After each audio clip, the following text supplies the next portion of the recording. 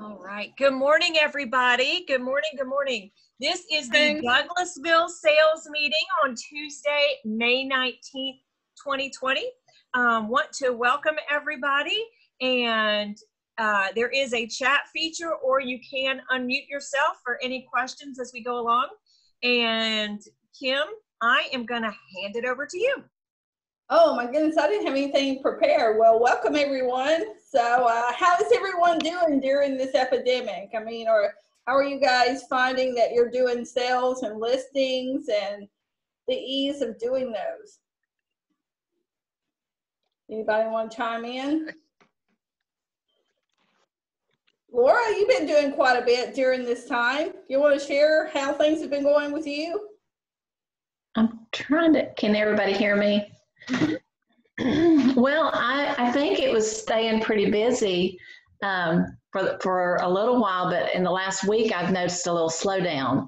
And um, I'm a premier agent on Zillow, and I've noticed that some of the leads that I've been getting through that have uh, been like lower listings, like 39,000, 49,000, 59,000, where we were getting better, higher leads and, you know, better qualified leads. Seems like the people that are coming in aren't really qualified. So um, in that respect, it's changing. It seems like it's the, it seems like the market's changing a little bit. Mm-hmm. Mm-hmm. So how are your closings going? Are you doing parking lot closings? I've done parking lot closings. I have I have done where we you know they allowed the agents to go. Um, I try to let my clients know that I'll be there if you know they want me there, and if they allow me to be there, I'll be there. Um, so I've done several, we've had separate offices for buyers and sellers. So the buyers are in one um, room, and the sellers are in another room. Um, so that's how you know uh, and some are not allowing you you know the, it just really is based on the attorney i think and what their rules are okay yeah because uh, the closing i had we were definitely in the parking lot and everybody was kind of separate you know in each car so right. uh, it actually ran pretty smoothly yeah uh, you know so there wasn't any problem with that um, I know the sales, considering the epidemic, has stayed pretty steady. Um, I know from a lender perspective, we've seen uh, the guidelines change a little bit in perspective to credit scores and what um, they are using as qualifying now. Um, are you guys having problems with trying to get your people qualified? No? Yes. I, I will say, um, and we'll let Linda address this when she hops on. Hopefully she'll hop on. But um, from some of the other lenders I'm hearing, FHA and VA went way up, and Shawn might have more knowledge on this too. They went way up in their minimum credit score, but they are now gradually bringing those minimum credit scores back down. Mm-hmm. Um, also, just generally speaking, our compliance department is busy. We are seeing, we have seen a lot of TNRs. The TNR, the, the terminations are slowing down, and we are seeing increasingly more contracts. Our compliance department is very busy. We're not in the typical spring market, but we are definitely in a busy, um, like winter market. Hmm. Um.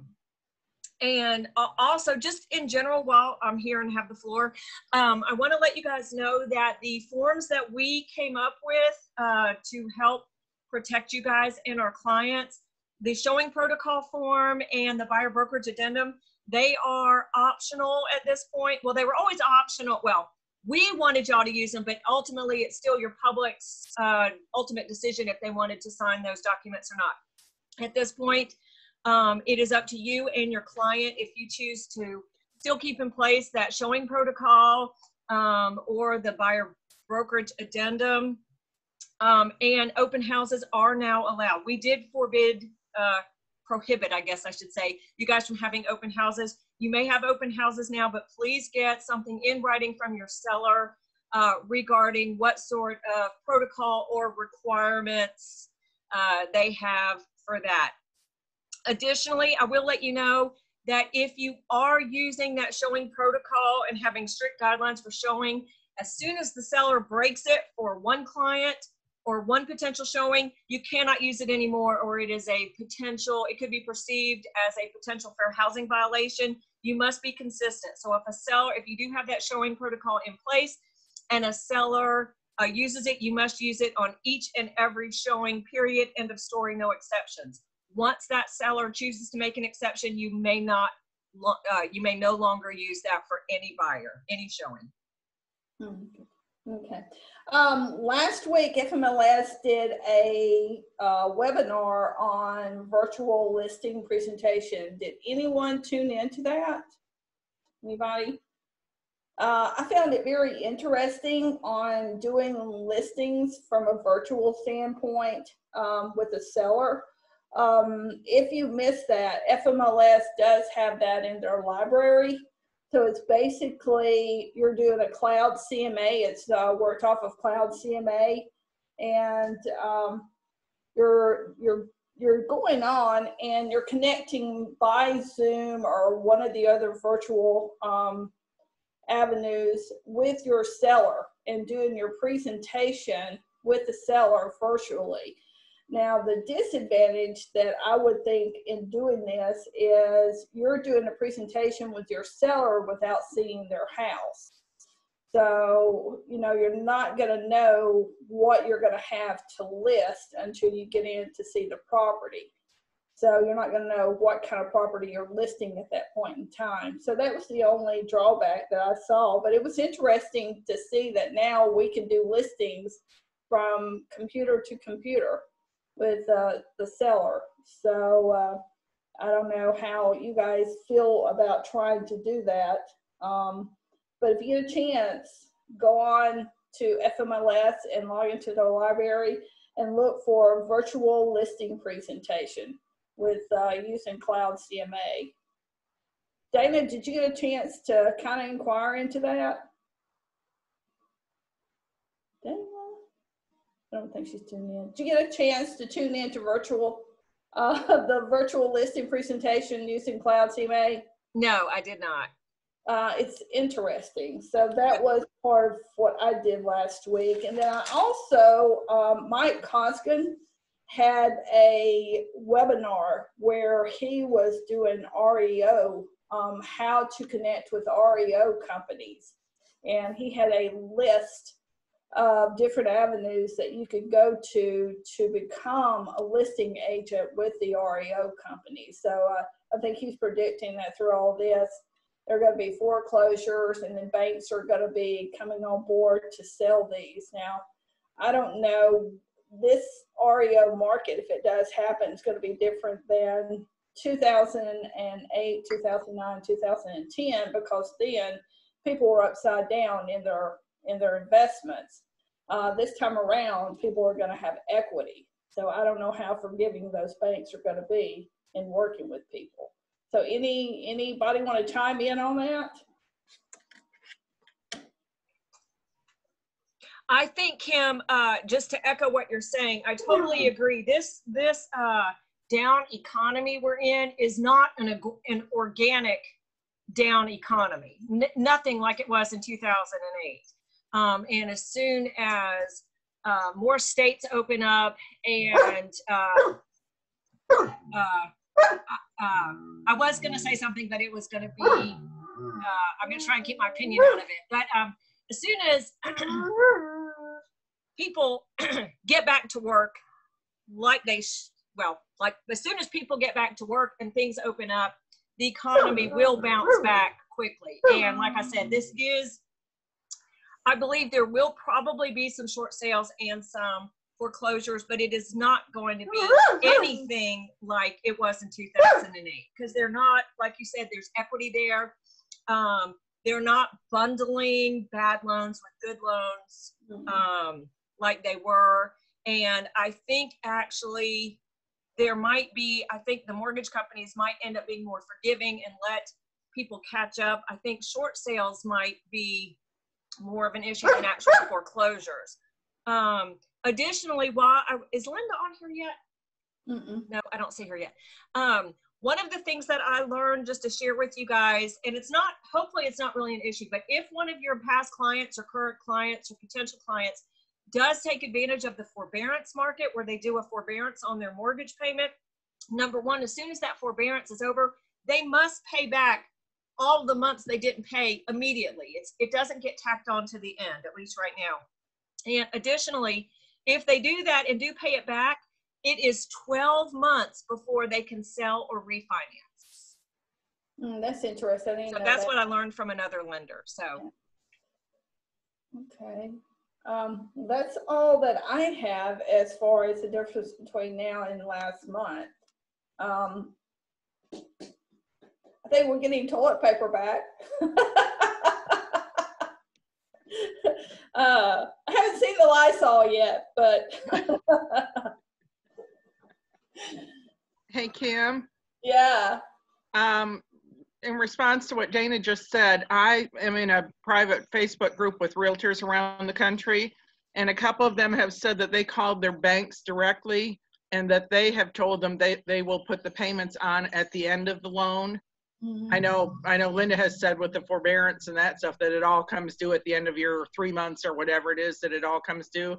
But from what I have heard and seen from some of them, they're saying that individual banks may give you mm. the option to put it on at the end, just make, you know, extend the payments out by the three months or whatever. I don't, I, yeah, I think that probably varies bank to bank, but anyhow, it, it would certainly be worth at least a call to check and see about that. Yeah. I agree. Can you all hear me? Yep. Hi, Shawn Horan here. I agree with what um, was just being said about the matter.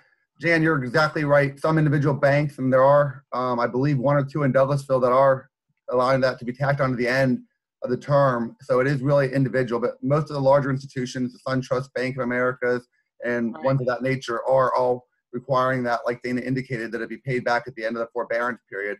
And as Dana did indicate, that is correct information. You must wait one year before you can do anything at that point. Um, so, but check with your individual lender, like Kim just indicated, or excuse me, like Dan just indicated, for your own protection. Yep. Okay. Uh, was anybody dealing with any issues that they'd like to bring to the table and uh, put on the floor? Miss everybody. Yeah, I'll be glad when we can get back uh, into the social environment. I'm, Yes. miss everybody too. Um, Kevin, do you have anything that you want to um, bring on the floor? Because I think I've uh, exhausted everything that I have. Uh, no, no, I don't. Um, just uh, trying to figure out how to get keep things moving in this different environment. Um, kind of been leery about some showings and stuff like that, but now I'm I'm at a point now where I'm kind of back to it. So just trying to pick things up a little bit. Okay. Um, Shawn, you want to take over from here and uh, let us see what uh, you're dealing with and what you have on your plate? Sure. Good after, good morning, all. I'm happy to be here with you all today and have a few things I wanted to discuss with you. As I believe you all know at this point, I have officially merged with Don Defoor office and we are partnered up. And it has been officially six months. We were giving a six month trial on both ends. That has worked out um, wonderfully well, in my opinion. I'm very content with the staff we have here. Megan on the pre closing side, Susan on the closing side, Christy on the post closing side are very on top of the files. We've had great um, feedback from agents at Maximum One and other offices regarding the increased level of service we're able to provide. I also, and I don't believe it's just because of the pandemic and being stranded at home, because if that were the case, I'd be, you know, uh, spending all the time with my kids. But I have a lot more time available if you guys have questions, issues, and um, direct assistance needed. You can Zoom with me, email me, or call me on the phone and we can talk. Um, closing procedures in our office have kind of been evolving as we go. We have been utilizing up until this point primarily parking lot closings. And that has been working out quite well, except for the days when it rains or when we had 90 degree days, like we did last week, a couple days in the upper 80s. Um, with that all being said, we are in the process of transitioning. Probably June 1st, we'll do that, which will be week after next, to more of an in-office setting again. We're able to, as of right now, we'll be keeping the office pretty much closed only to the office or only to the staff being in there, so we can keep a sterile environment for their safety and yours. And we've been doing the closings out in the parking lot where we stagger the parties out. and that has been working quite well. Just to clarify the firm position, we welcome any and all agents provided you keep your social distance. So as long as you're able to keep your distance out in the parking lot or keep your distance in the office, we do not have any objection to agents coming to closing and attending closing. I've even had agents, you know, where I set the table up out in the parking lot next to their car. They wind the window down, they sit comfortably in their car and their air conditioning and are able to listen to the entire closing five, six feet away. So we have come up with scenarios to make it work for all parties, but making you all aware, there are additional options available to your clients if they wish to have a video closing. We are able to do that. We have not done very many of them. I've, I can count on one hand the number I've done. And primarily it's because a lot of folks don't have the technology um, to be able to set up for video closing, especially out in the West Georgia area where you've got issues involving internet connectivity, uh, as well as reception and other matters going on. So we've been primarily focusing on doing the parking lot closings or mail outs if it you know is applicable or uh, appropriate to do so. One thing, if you want to do a video closing, you must remember we can only do video closings if all parties are in the state of Georgia. If I've got a buyer in California, I cannot do a video closing and remotely notarize his documents. So we must have that in order to accomplish remote um, closing. If you wish to have a remote closing or video closing that way, please just let me know and I'll be happy to accommodate and get that set up for you all. We can set up a Zoom conference and get that with you being on the uh, video, of course, with the closing occurring. Also, we are available or we're making available um, closing starting June 1 in our office, like I indicated. We will be keeping one party, buyer or seller, out in our lobby area while the other party comes in for closing, and then we'll trade places. Please encourage your clients to wear face masks gloves, and any other protection that they can find or that they feel appropriate to keep everybody safe. Um, one thing I wanted to mention regarding the um, disbursements, we are happy to disperse your funds for your clients' funds if appropriate, whether it be buyer refund, seller proceeds, or agent commission checks. We can, re- we can disperse those via wire or via check. And it's really whatever you prefer. If they go via wire, we incur a fee, and right now we're absorbing that fee. So there's no charge or additional cost to you if you want to have your funds wired from closing. We're offering that more as a public service to make it safe for everybody. So we're incurring the cost there if we have to wire funds. Um, Don, just to interrupt you one second, um, agents, if you guys are getting your commission wired, what Shawn is talking about is if you get an approved DA, he is wiring it directly to your account. We do not accept wired commissions. Right. We'll accept wire oh. earnest money, but we do not accept wired commissions. So Shawn's talking about thank, directly thank, yeah, thank your you. account thank with an approved DA. Yes, thank you for clarifying that. I'm, I'm referring to your own commissions when we have a DA in effect. Of course, the maximum one, we can mail the check to the office as well as a settlement statement, or if you prefer taking it with you, we can make it available once we disperse the closing. Um, but good point, Dana. Thank you. We only are wiring um, funds to agents, and we're not charging a fee to wire funds to your uh, account if you need to have that. Um, as far as the upcoming days ahead, as we go into, you know, hopefully the waning of this pandemic around Georgia and the country, um, we're going to start opening up more and more as we're able to safely do so. But for right now, we are continuing to do parking lot closings the one thing with parking lot closings, as I indicated, is if it gets hot or if it's rainy out, we have to go into the lobby downstairs and it's not as open of an environment. So again, encourage your clients to be wearing protective masks and gloves if possible. As I indicated last month at the meeting, we are providing pens that they get to keep as souvenirs. Nothing terribly fancy, but nonetheless, that way we don't have contamination with pens. And we are wiping down um, closing tables and chairs prior to you know, closings that occur back to back or, you know, when we have uh, subsequent closings in the day. One thing I want to mention today is we are finding a nice increase in business. And Dana, from your perspective, you said it's more of a busy winter than it is um, solid spring. Over at our office, we're actually experiencing a solid spring right now. We're, we're actually getting a really good volume, and a lot of that volume is coming from Maximum One agents. So again, thank you for the support, your loyalty, and your love. Um, we want to be there any way we can for you to help out with making sure we get through this pandemic and navigate through the issues that develop as we go forward. The staff in my office are often working remotely. We tend to have at least two staff members in the office at all times, but there may be one or two members working remotely. So if you reach out to us and uh, via email, please be patient if we happen to have a staff member who is um, remotely working or maybe en route between offices or between the office and the home office. Also, please remember that when you're sending information in, I realize we're in different times now and you're not able to necessarily get with your client directly. So a lot of things are being done um, either via the internet for yourselves or via video. Please make sure if you have an amendment drafted or if you have an amendment executed that you forward that amendment to us. We've noticed that with the pandemic, there's been not as much communication and forwarding us documents that we may need for closing, um, including buyer and information seller sheet, buyer and information sheets for the buyer and the seller. We must have that information to be able to process the file and to get things going um, for your benefit and for your client's benefit. So please, when we send over the buyer and seller information sheets, please remind your clients to send those back to us and get them back to us as quickly as possible so we can keep closing on track on our side. Um, the other item I wanted to mention about is, well, before I go there, I'll talk about documents needed for closing. And I want to bring this up because it's come up repeatedly and I talk about it every so often, but we probably have new agents or additional agents on this meeting that may not have heard this before, as well as um, some agents that may not remember this.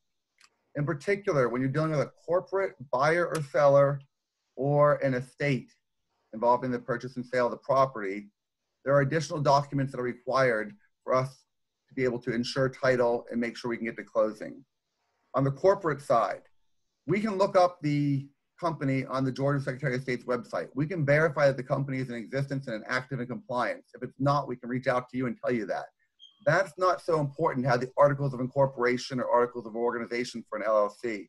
What is important that we have is some type of bylaws or operating agreement that dictate how the or who is authorized to sell real property, verifying that the company is authorized to purchase or sell property, and other you know matters related to that if we do not have a document that shows the authority of an individual or more than one individual to convey property, then we may have to draw up a resolution saying, you know, be it resolved that Joe, Mary, and Pete are all authorized to sign on behalf of the company, and that we had that resolution signed by all the officers or all the members of the company um, as applicable.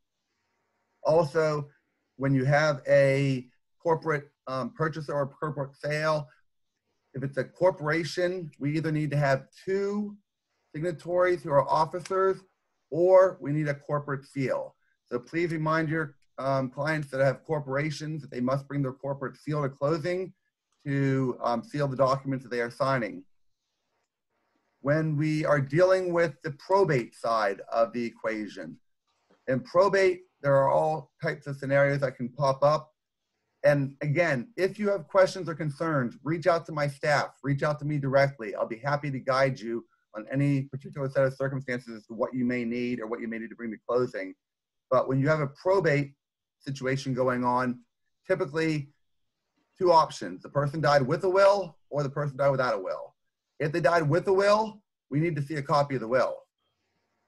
If they died without a will, then there may not be any document to provide there, but in order to convey the property, some type of administration must have taken place on the estate, whether it be a petition for letters of administration, a petition for a year's support, or other type of probate um, avenue available to the decedent's family or um, next of kin. When we're requesting these documents, the quicker you can get them to us, the quicker we can get them approved by our title company and get to closing, because there may be a situation where you think you have all the documents you need for closing, but don't realize that, oh, wait, we administered the estate and we have letters of administration, but those letters of administration do not provide the authority for the administrator to convey property without a specific court order. So we have to go back in to get a court order to quote unquote leave to sell the property. That's just one example of why it's so important that we be able to look at these probate documents and that your clients provide those to us so that we can help guide them to closing as quickly and efficiently as possible.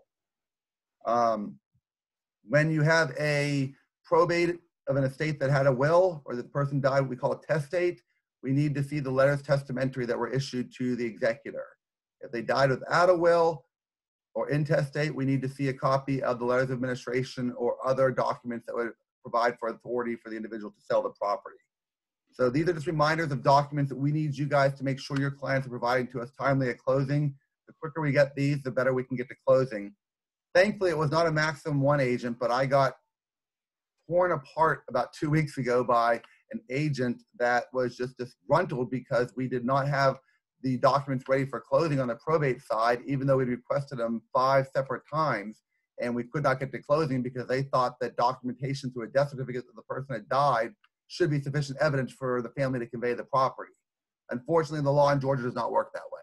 So we have to have certain instruments, and as we guide you as to what we need, please make sure your clients are aware that they have to get those items to us in order to get to closing, and the quicker they get them to us, the better we'll all be.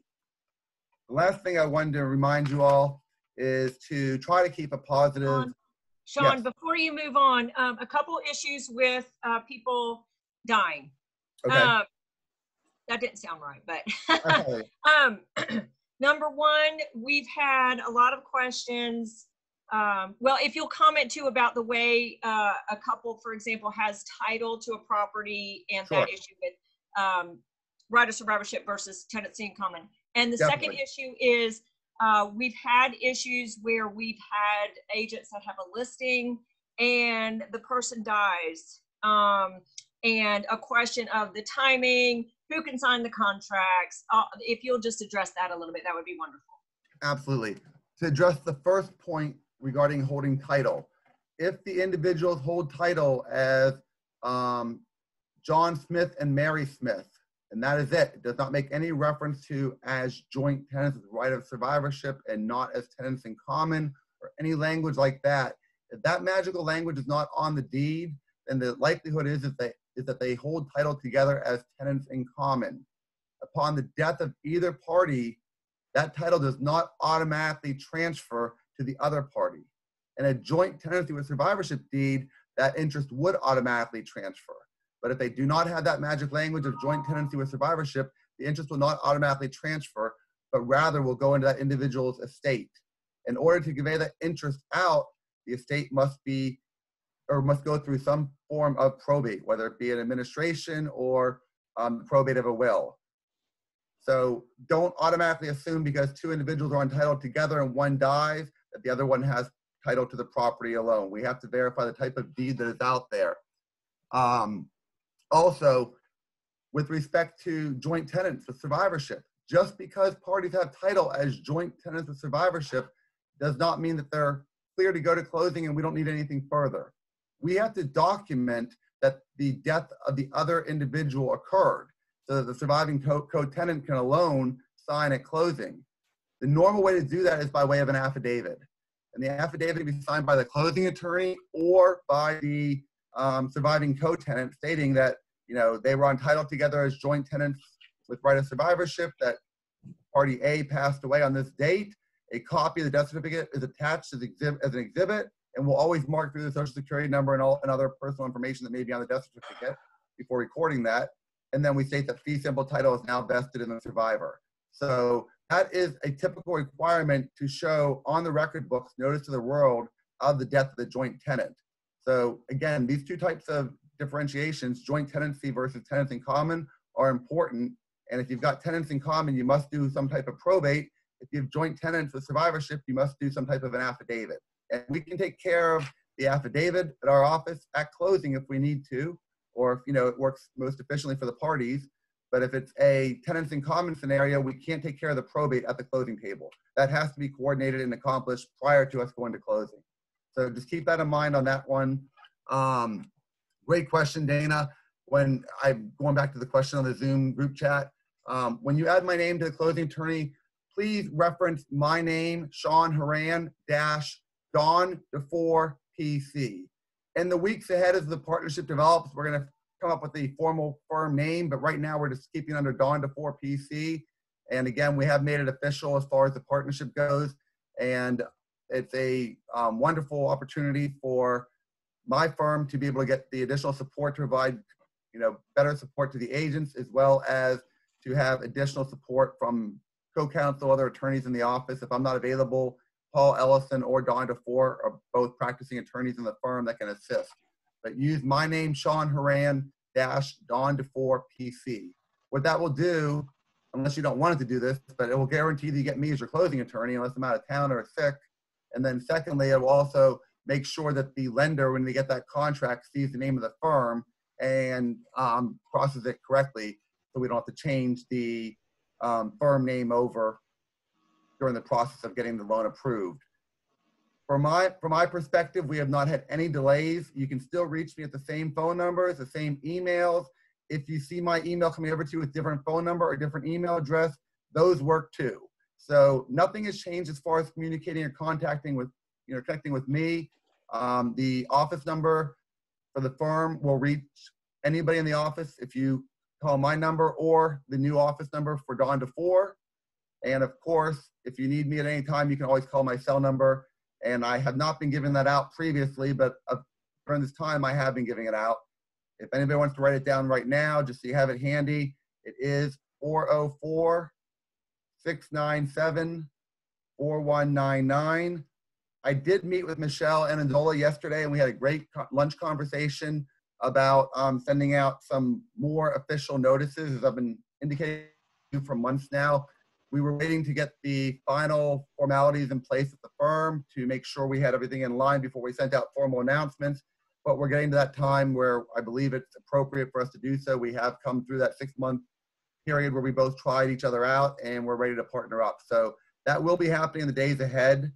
I do realize that we're limited with social distancing requirements right now, but I'm really hoping to have what I refer to as a social distancing social.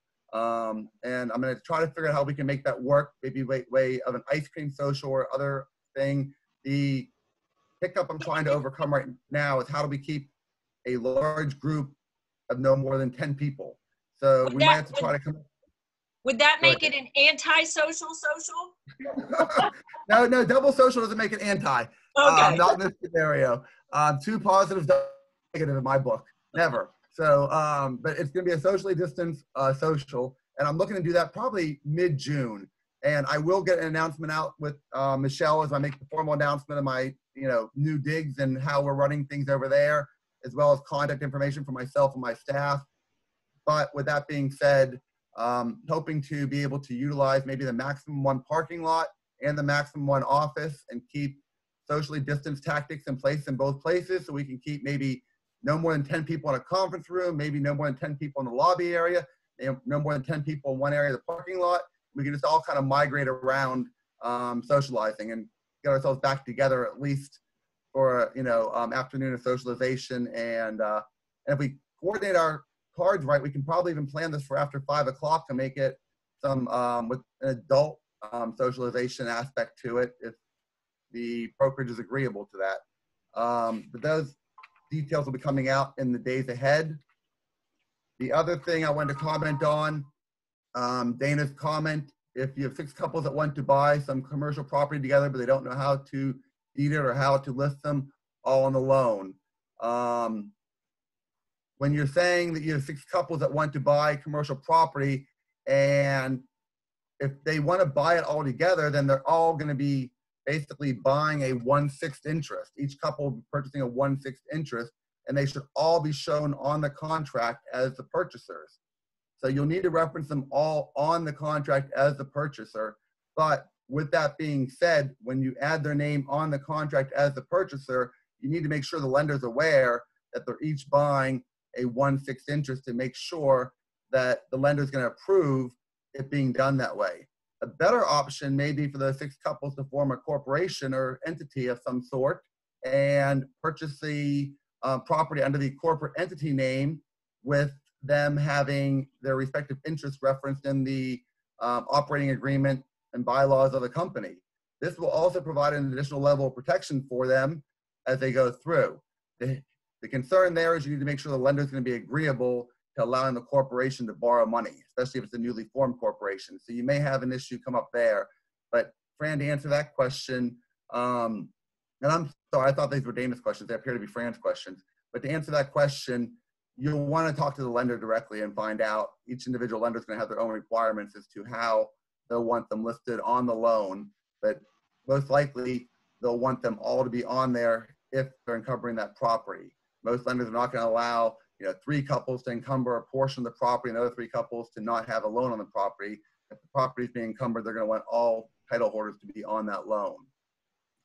Moving to Dana's second question that she asked a minute ago with respect to signing contracts and other documents when you have a dead person on title, not to be blunt about it, but when you have somebody that's passed away and property is listed, or if a property is not listed and they pass away, until an individual has been appointed as the representative of the estate, whether it be the administrator, the executor, executrix, or other capacity authorizing the individual to sign on behalf of the deceased, legally speaking, your clients can't really do anything legally.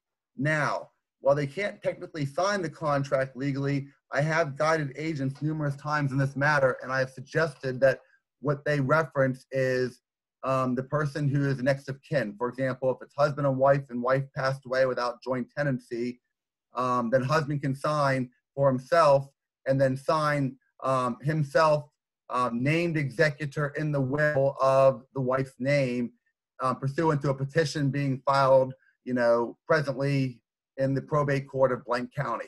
So you'll want to have that reference if you do have somebody that's not been appointed by the probate court as a representative of the estate. You'll want to have that individual sign the contract or other document to reference that they are not signing it in the legal capacity as the administrator or executor or other representative capacity. They are signing it just as an individual for that person and stating that they are in the process of petitioning the court to obtain that.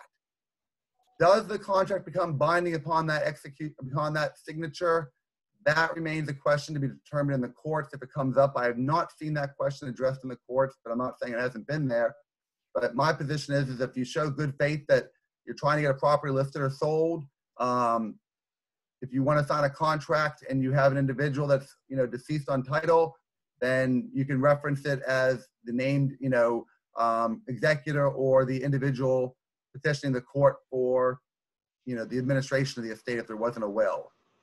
Does that make sense to everybody? Mhm. Or are there questions about that? I should say.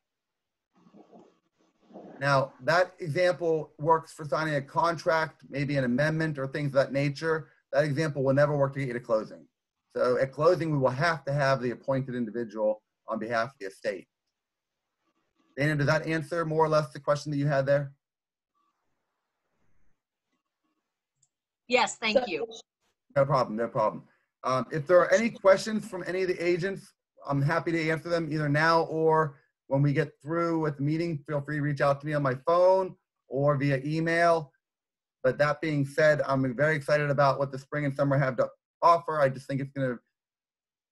I actually had a very gloom outlook about two months ago when it started hitting us, and with the business and the volume and the way people have been able to creatively navigate around the issues. I've been very impressed with how we've been able to accomplish business and during this pandemic. So kudos to all of you for keeping your heads high and moving forward during the difficult times. And like Dana indicated, we will get through this.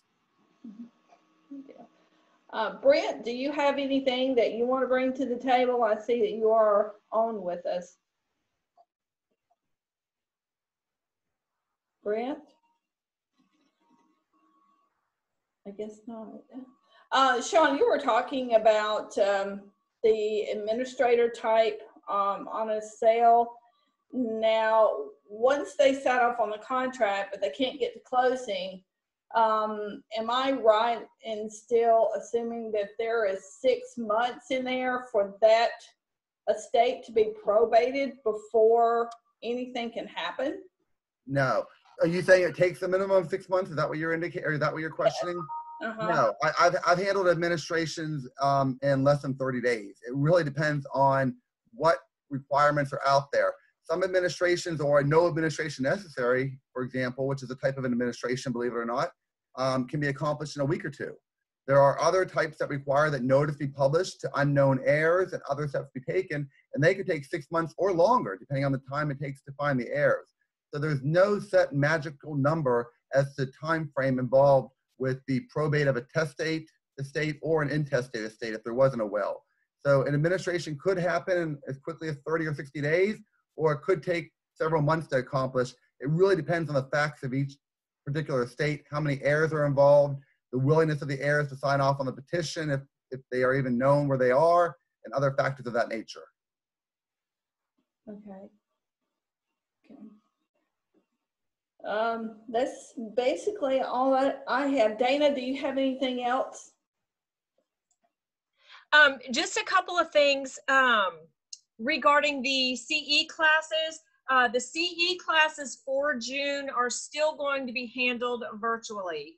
Um, but it looks like some of the other branch specific meetings are going to be handled within the branch again to uh, stay in compliance with the guidelines um, and just for the comfort level of our agents.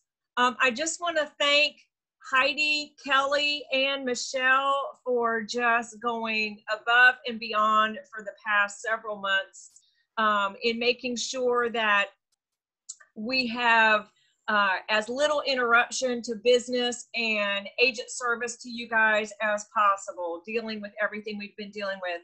Um, Heidi's put additional miles on her car by running back and forth, back and forth, uh, picking up deposits and taking care of everything. Um, and we are uh, just, I just want to publicly thank Heidi and Michelle for uh, servicing everything. And also, you guys, um, with these virtual CE classes, um, they're great to teach, but the the reports are crazy, crazy, crazy. There are four reports that we have to amalgamate together to come up with a true CE roster for GREC.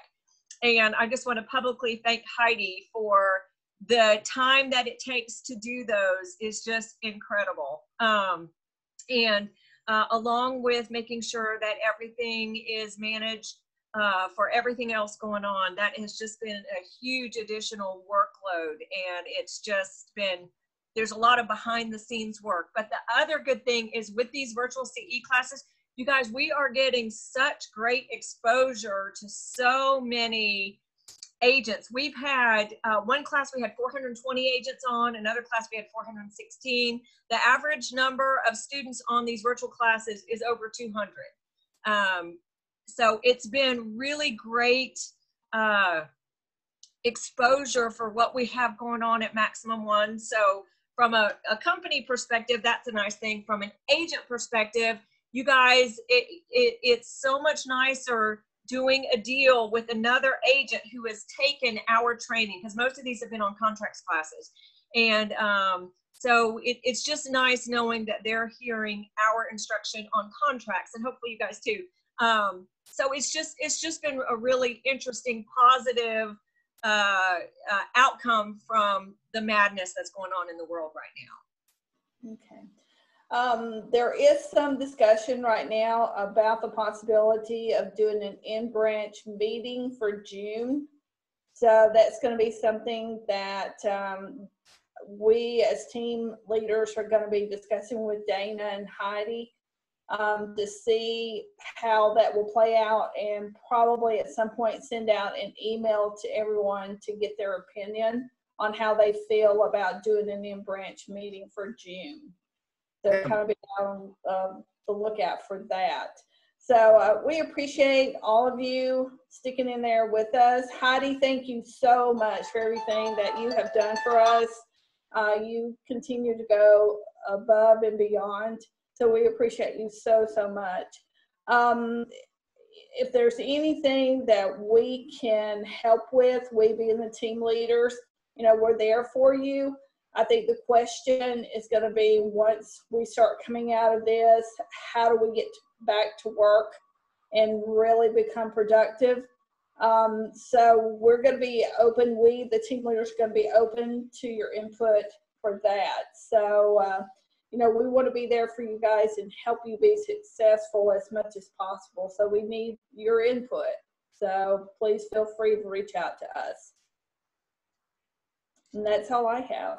I, I will say one more thing too, you guys. There is um, so much help and support on the support email, um, as well as rock stars. I've learned a ton of information from the rock stars questions and answers um, because the rock stars it's every agent from all of our franchises that are on rock stars and there is a ton of great information that's shared because we have a lot of agents that are very well versed and experienced in aspects of real estate um, that I don't have knowledge of because I it's never come up in our franchise and I never dealt with it when I was actually selling. So like some land, we've got an issue right now where Fran, this kind of goes to your question. We've got an agent that is selling a property. It was a huge property and it's gotten subdivided, subdivided, subdivided within the family, but they subdivided it by pulling up a picture of the plat and taking a Sharpie and marking it. None of those none of the Oh. divisions of lots ever got recorded. So it's kind of turned into a nightmare and um, just the issues that have been discovered and addressed. And just so you guys, there are fabulous resources out there for y'all. Um, and uh, just please take advantage of them. Sometimes it's good to look on Rockstars just to kind of uh, track the conversation and see what's going on. And there also is a search button on Rockstar. So if you have a question, you might want to go to that search button and look up, for example, VA loans before you ask your question to see what other previous discussions uh, and answers and issues have been addressed on there. But um, that and Shawn, uh, thank you so much. Shawn is always available to answer questions. Shawn has helped me a lot with some of the uh, COVID-19 issues and uh, uh, the addendum and the showing protocol. And, you know, moving forward, it's just a question. There are a lot of differences of opinions, uh, whether they are personally motivated or politically motivated. Again, I encourage everyone to be kind, to be cognizant of the differences of opinions. Uh, you are not going to change anyone's mind and they are not going to change yours. So there's no sense uh, alienating a potential client, a potential co-op agent, a potential uh, anybody, any professional involved in that situation.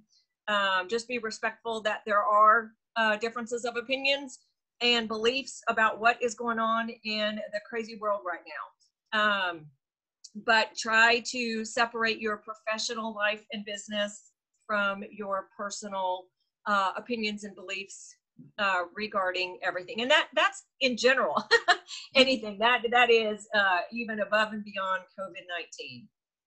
Dana, thank you again. Um, and just to make sure you all are aware, if you have specific needs or questions that come up or need special accommodations, whether it be a video closing, um, your client's not comfortable signing outside, whatever it might be, please reach out to me, phone call, email, or otherwise.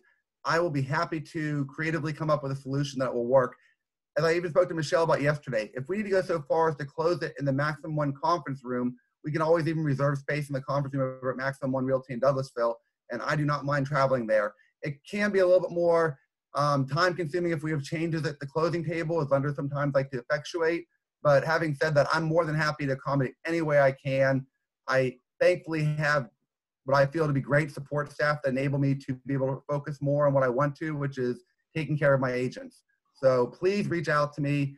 Um, if you've not had the opportunity to close with me this year or since I've merged over, please give us a tryout and see how the experience is. And if there's good, I want to hear about it. If there's negative, I want to hear about that as well so we can make sure we improve it. Thank you all again.